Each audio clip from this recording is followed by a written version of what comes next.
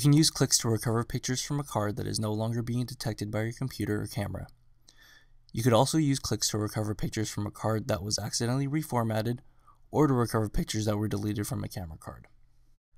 To get started in Klix, first select the camera card that you want to recover pictures from. Then click on Scan at the bottom right of the window to begin your scan.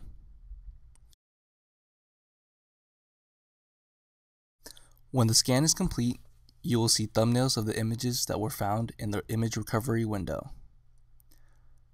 You can select specific images for recovery or choose to select all. Now, before you click recover to begin recovering, it may be a good idea to create a specific folder as a destination to recover your images to. I'm going to create a new folder on my desktop to use for my recovered images.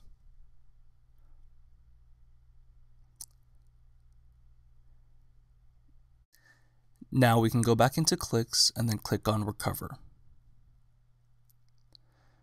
Then select the folder for the recovered images. Once you have it selected, go ahead and click Open.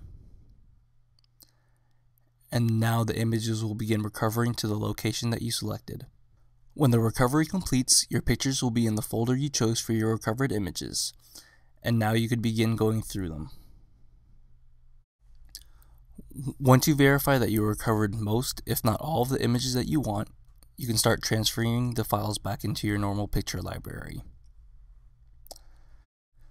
This completes the guide for recovering pictures using Klix for Mac. Thank you for watching.